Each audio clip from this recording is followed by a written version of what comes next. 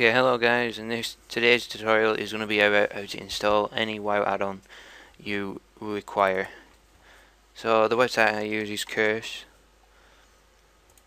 and uh, just go into the World of Warcraft section.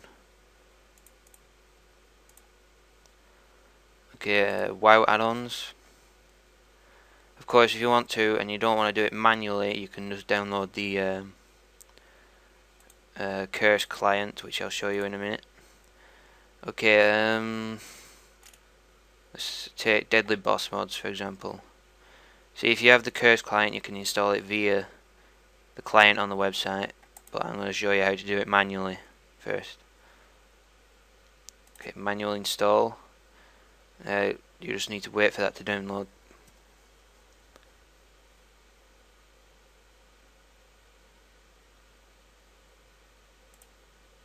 Open it up using WinRAR and I'll put a link in the description from Win WinRAR so what you're going to do highlight them all click extract to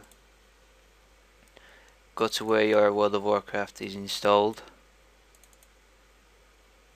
go down to interface and into the add-ons subfolder and all your add-ons should be in there and click OK Now that's the manual way. Now I'll show the Curse client.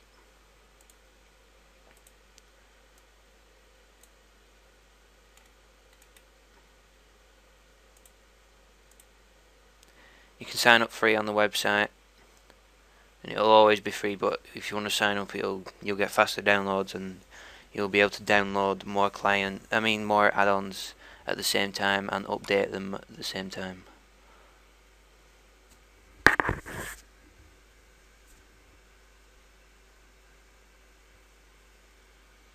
Okay, when you first launch it,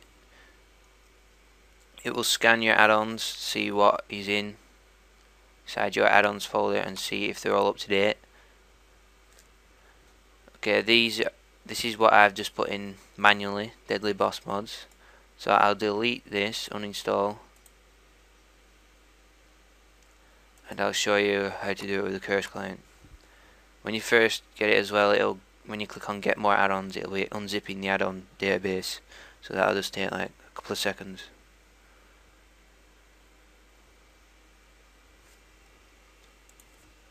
Okay, let's try Deadly Boss Mods again.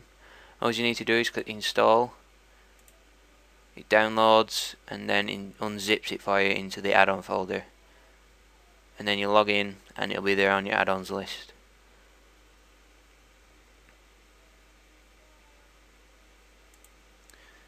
See, there we are. I'd like to thank you guys for watching this video. Hope it helped you. See you next time.